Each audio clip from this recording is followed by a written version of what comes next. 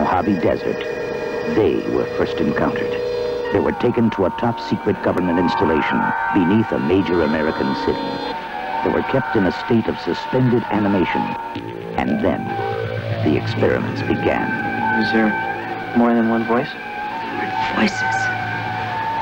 They're more like thoughts. Wavelength. No one was supposed to hear them. It's coming from somewhere in there.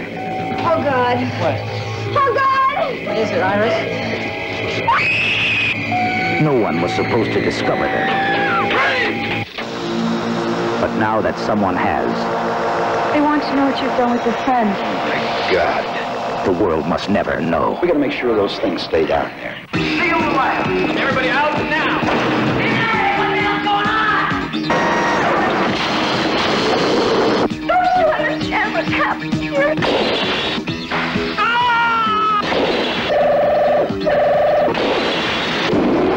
Weapons. By God, General, this is madness. Thinking of something strange. You must be two miles across! They came looking for humanity and found the greatest danger in all the galaxies.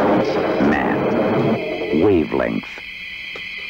Was it our experiment or theirs?